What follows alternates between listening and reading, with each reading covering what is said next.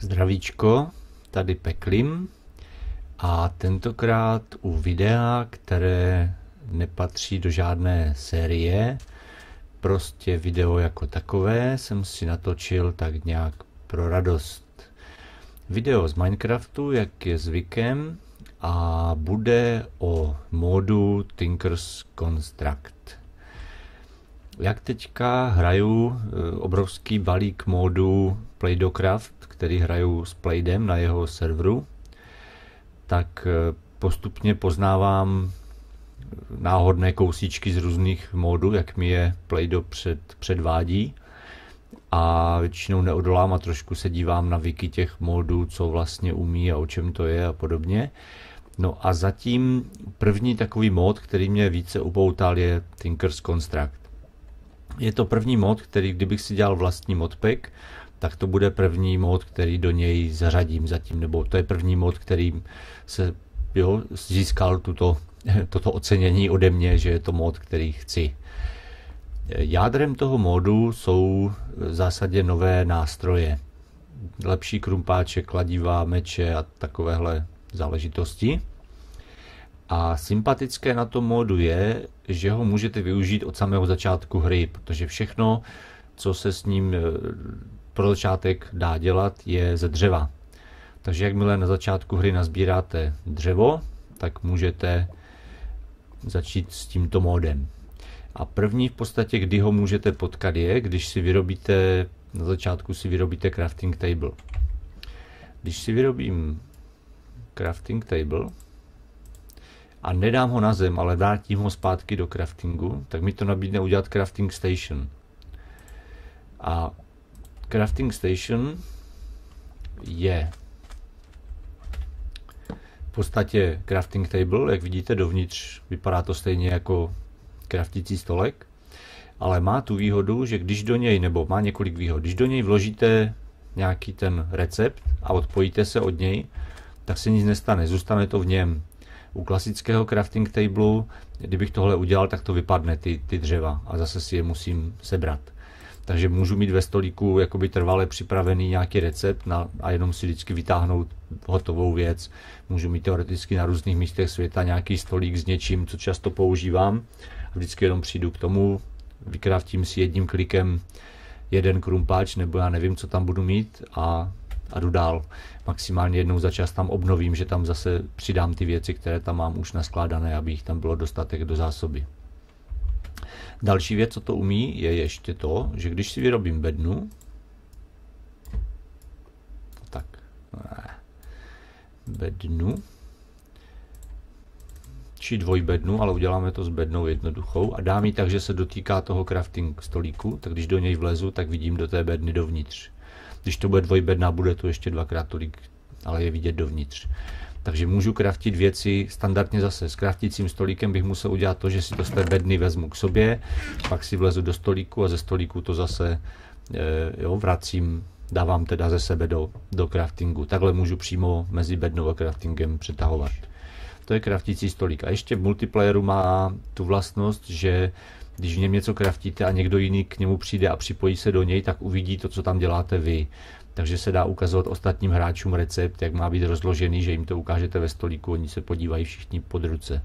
Klasický kraftící stolek v multiplayeru, když se do něj připojí více lidí, tak každý vidí to svoje a navzájem si nevidí. Můžou tam současně každý kraftit něco úplně jiného.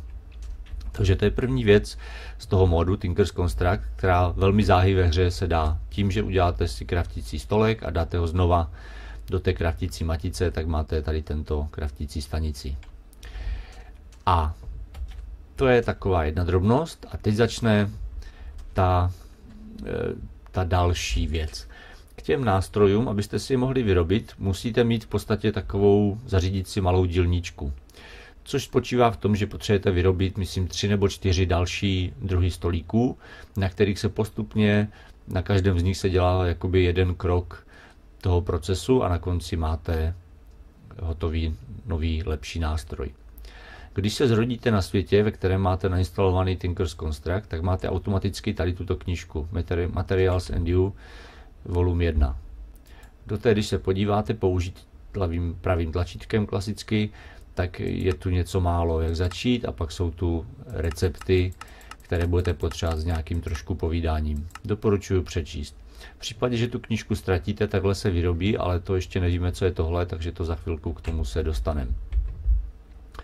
Takže pro výrobu té dílničky potřebujete nejprve si vyrobit prázdný pattern. Pattern je vzor, řekněme, takže prázdný vzor. E, ještě další vlastnost to má, že všechny tyhle recepty, teďka, o kterých budu mluvit, tak na všechny stačí 2x2 prostor, takže nepotřebujete ani kraftící stolík, abyste je mohli vyrábět, stačí vám prostě to, co máte u sebe standardně. Takže e, na výrobu těch paternů potřebujeme tyčky a dřevo. A dřevo se dá do kříže a tyčky se dají do kříže a nabídne vám to blank pattern. Já si jich vyrobím do zásoby, klidně takových 32 třeba, jo, tady mám už jeden, nevadí. A to je první věc, že když teda přijdete tady o tu knížku, tak jeden, jeden ten blank pattern a jeden papír vedle sebe, tak vám dají tu knihu.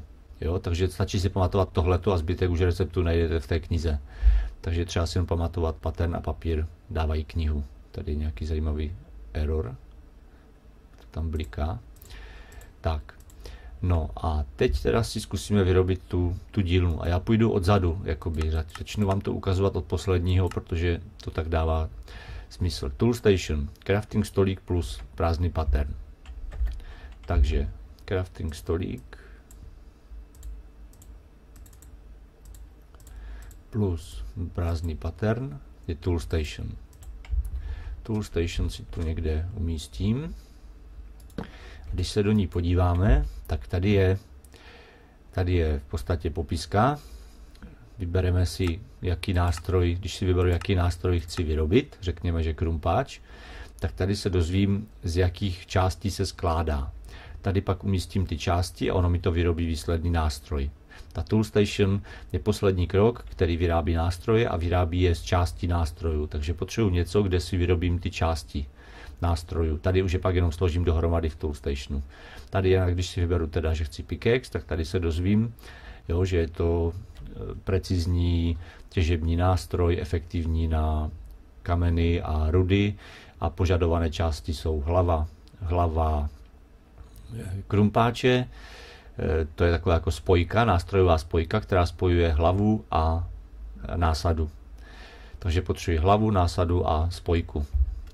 Dobrá, takže o krok zpět, podíváme se do knihy. Já si ty recepty nepamatuju z hlavy. Takže to byla Tool Station a my chceme vyrábět části, to znamená part crafter, jo? část, výrobce částí. Takže zase prázdný pattern a surové dřevo. Takže dáme surové dřevo a nad něj prázdný pattern a máme part builder. Part builder si dáme zde, když do něj vejdu, tak tady je umístěte pattern a materiál, který, z kterého chcete tu část vyrobit. Eh, tady se dají vyrábět totiž ty části jednotlivé, se dají vyrobit z mnoha různých druhů. Asi 15, standardně je tam asi 15 15, jak to nazvat, 15 surovin, ze kterých se dají vyrábět ty části. Například jsme tam měli minule, že na ten krumpáč potřebuju hlavu krumpáče. A hlava krumpáče může být železná, kamenná, dřevěná, jo, záleží, jaký, jaký materiál tady vložím.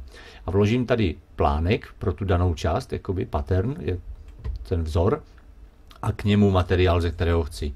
Takže budu mít například Eh, vzor na hlavu, hlavu krumpáče, vložím tady a tady vložím dřevo, tak ve výsledkem bude dřevěná hlava krumpáče. Když tu dám ten vzor krumpáče a k němu třeba kámen, tak bude kamenná hlava krumpáče a tak dále. Takže teď potřebuji něco, co vyrábí ty vzory. Já mám prázdné vzory, ale potřebuju zase stolek, ve kterém se dají vyrábět konkrétní vzory. Vzor například pro hlavu krumpáče, pro násadu a tak dále. Takže opět se podívám do knihy. A to se jmenuje, ano, to se jmenuje stencil table, což je desky plus prázdný pattern. Takže si dáme desky jedny a jeden pattern a mám stencil table. Stencil table umístím zde. Tady ho mám. Tady vložím prázdný, prázdný pattern, tady si vyberu, jaký chci a on mi vyrobí pattern toho typu. Ještě předtím ale se podívám do knihy na zvláštní bednu. Je tam zvláštní bedna, tady pattern chest, což je bedna plus zase prázdný pattern. Takže bedna, bednu si nevyrobím tady, bedna, bednu už potřebuju velký ten, takže to už je první, první recept, který vyžaduje velký prostor. Takže bedna a nad ní jeden pattern a mám pattern chest. Tak. A pattern chest, když položím tak, aby se dotýkala zase tady toho, té, jak se to jmenuje, part builderu, tak si dám tady pattern chest a když vlezu do part builderu, tak je tu vidět dovnitř do pattern chestu. Tady se dávají ty paterny a v pattern chestu můžu mít uložené paterny, které z něho vytahuju a používám v tom part builderu. Teď jsme se trošku už zamotali, ale to bude za chvilku jasnější. Takže teď je postup ten, že si vlezu do stencil table, dám si tady ty prázdné paterny a já jsem říkal, že na krumpáč potřebuju hlavu krumpáče, to je ona. Bohužel tady teď nevyskakují popisky, což bych uvítal, kdyby člověk musí znát už pak ty tvary z paměti. Ale tady se to aspoň dozvíme, jo? Pickaxe head pattern, čili vzor hlavy krumpáče. Tady ubyde, tady mám teďka 29 prázdných paternů, já vytáhnu, je jich tam 28 a tady mám pattern, to jakože předpis na hlavu krumpáče. Těch paternů je celkem 24, takže já bych si teď mohl vyrobit všechny. Doporučuji vám si to vyrobit, všech 24, pak už máte klid a ve stencil table vlastně nemusíte už se do něho nikdy vracet, protože už máte všechny, které můžou existovat, všech 24 vzorů vyrobeno. My si teď vyrobíme akorát ten krumpáč teda, teď potřebuju násadu, tady je menší změna, že násada vypadá takhle, ale ten pattern vypadá takhle. A potřebuju ten, myslím, že to bylo ono takhle, binding pattern. Tak, to jsou tři věci, které jsem potřeboval na krumpáč. Ještě si vyrobím, protože vím, že budu potřebovat do budoucna a já si jich vyrobím prostě tady zpočátku několik všech, ať pak se nemusím zdržovat. Tohle je lopata, tohle je sekira, pak tu je velká sekira, nebo kladivo, velká lopata, to je taky ještě nějaká velká sekira. Tohle je taky specialita. A tohle už nepotřebuju, to je dláto. Tohle jsou na meče, různé Eh, břit eh, meč, břit nože, břit eh, meče, jo, ochrana rukou u meče, taková ta, na, aby vás nesekli do ruky, když držíte meč.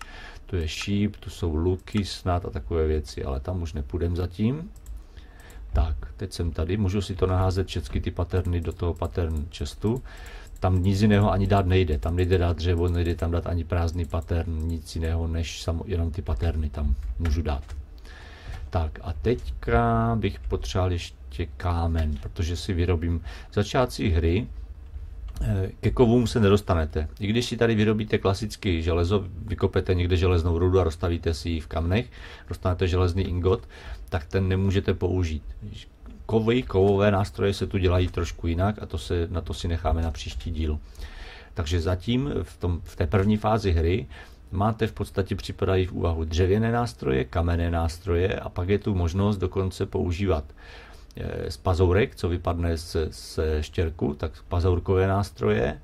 Dají se dokonce kaktusové a ještě z čeho si? Z kaktusu a, a, a teď nevím, ale tady zhruba v podstatě víceméně, když se člověk nechce moc to, to řešit, tak stačí v podstatě kamenné a dřevěné si pamatovat že pro začátek vás zajímají. No a e, smyslem je dělat kamenné hlavice a dřevěné rukojeti. To si pak vysvětlíme proč ještě za chvíli. Takže já bych teď potřeboval nějaký kámen. Dřeva mám dost, ale kámen nemám, tak já se teď přepnu do kreativního režimu na chvilku a přiděl, přidělím si prostě šutry, cobblestone, to bude stačit, nebudu to vymýšlet dál, přepnu se zpátky zase do survivalu, tak a pojďme teda vyrábět si, řekněme, ten krumpáč. E, tady už máme, tady to nepotřebujeme, potřebujeme zde vyrobit krumpáč, takže potřebuju hlavu krumpáče si vyrobit. A teď, proč je tu takové divné, divné všechno? Tady, že tu je kostka a že tu je ingot, toho si nevšímejte. Tady můžu dát kamení třeba a tady můžu dát dřevo. A tady mi ukáže obě varianty pro ten daný, pro ten daný materiál, který jsem si zvolil. Ukazuje to i, jo, nemusím nadávat nic. Když tam dám jenom ty materiály samotné, tak každý materiál má určité vlastnosti. Tady je kamení a tady je dřevo. Když vyrobíte nástroj, tak e, hlavní jeho vlastnosti závisí od té hlavy toho nástroje. Hlava lopaty, hlava krumpáče, ostří meče a tak dále. Když, když to uděláte kamenné, tak bude mít základní trvanlivost 131, 131 použití.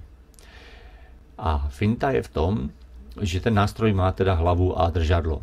A pokud se udělá podle toho, z jakého materiálu je držadlo, tak se pak uplatní handle modifier, modifier což je modifikátor držadla.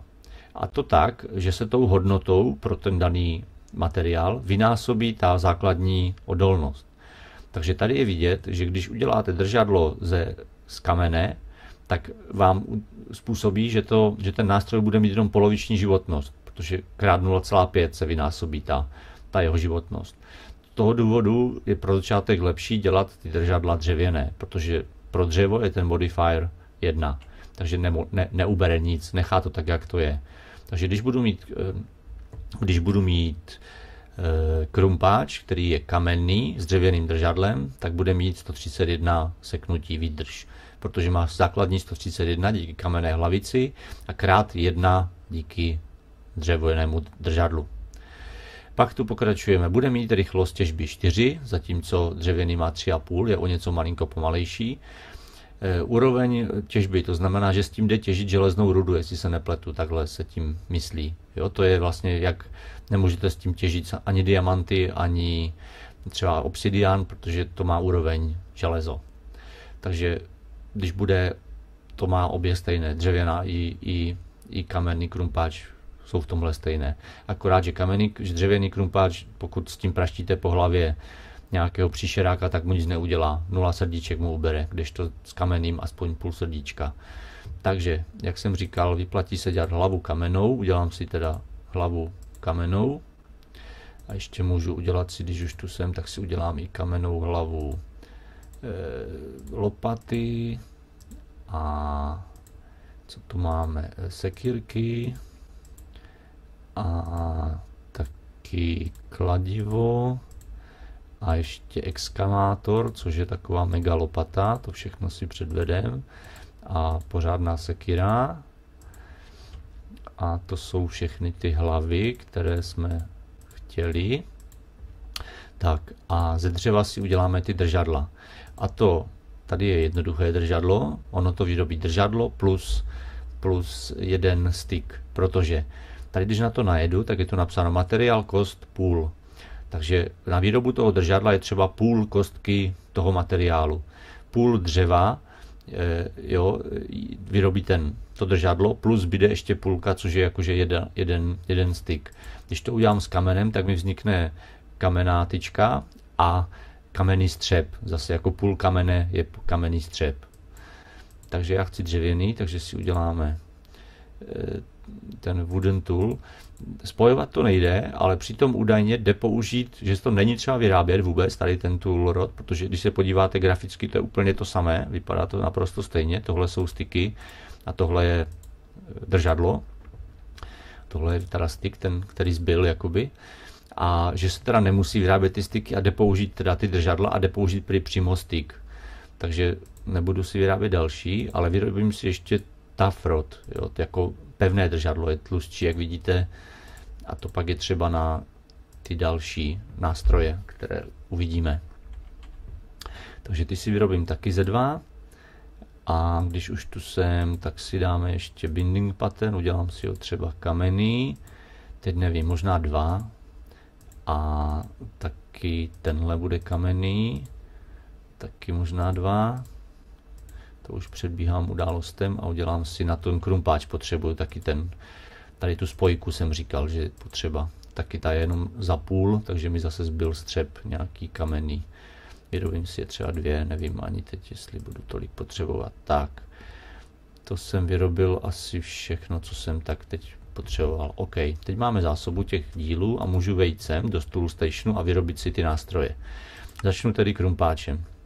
Jak jsme říkali, potřebuju hlavu, potřebuju tu spojku a potřebuju držadlo a schválně tam zkusím dát styk, jestli mi to, aha, opravdu, sežere to styk.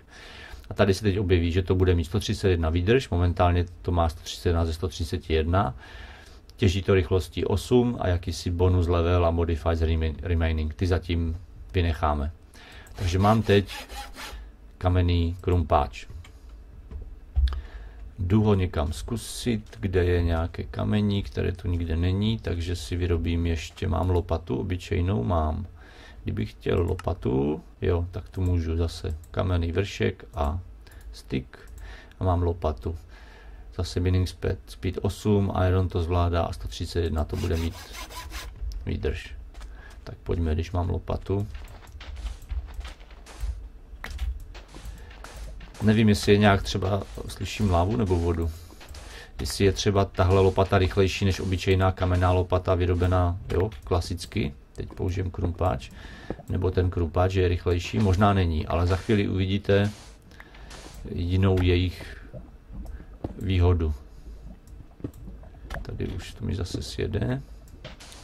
Ale už vlastně, už vlastně používám krumpáč, jak vidíte na a tady se objevilo dokonce, to je, myslím, že bronz nebo měď, měď, bronz tam není, to je měď a tu přidává taky ten, ten, když se na ní podíváme, jo, je to copper ore, je to měděná ruda, tu přidává ten Tinker's Construct taky do hry. Dají se tam dělat věci z mědi a můžete mít měděný nástroj. A nejsem si jistý, jak je, stejně ho teďka nemůžeme vyrábět, jak jsem říkal, protože kovy se to musí trošku jinak k ním dostat, ale Eh, myslím, že se dají dělat i měděné. A mě jde teďka o to vyplýtvat trochu eh, to, ten krumpáč. Jinak když se na něj podíváme, tak ono to ukazuje takovým tím klasickým Minecraftním způsobem, to ukazuje nesmysl. On píše, že má 82 ze 100. Ale tím se nemyslí 82 použití ze 100 použití, ale spíš, že to je, jako že mu už zbývá jenom 82% toho poškození. Protože ono to neubývá. Teď bylo 82, Podíváme se znova, je 81 teďka, pořád 81. Jo? Ono to není prostě počet, konkrétní počet použití, ale procenta. A tak já teďka budu chvilku kopat, to pak stříhnu pryč, abych eh, vyplýtval ten, ten krumpáč.